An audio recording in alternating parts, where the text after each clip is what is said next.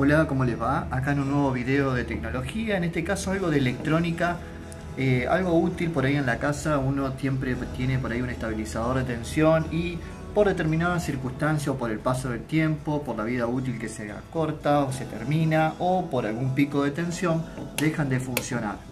Eh, entonces por ahí uno dice, bueno, hay que comprar uno nuevo, pero no, antes de eso lo primero que ustedes tienen que probar que es una solución bastante económica, es fijarse si no tienen los fusibles a la vista, estos estabilizadores, bueno, lo vamos a desconectar del toma corriente para evitar por seguridad.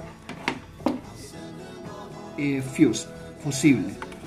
Eh, depende de los modelos, pueden que esté ahí, puede que esté en otro lado.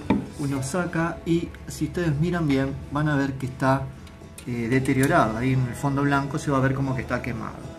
Bien, eso es una solución, la primera solución y la más económica antes de llevarlo a un servicio técnico.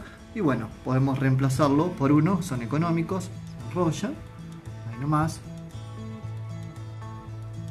Y lo reemplazamos.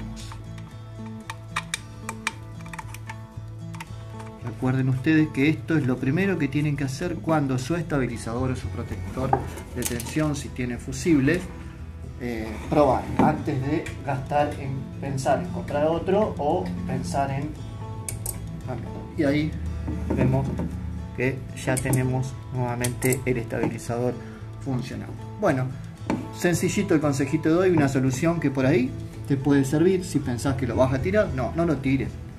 Simplemente acá en Argentina con menos de un 50 centavos de dólar te compras un fusible nuevo y el estabilizador lo tenés 0 kilómetros nuevamente. Como siempre les digo, muchas gracias por prestar atención y nos vemos en una próxima ocasión. Chao, chao.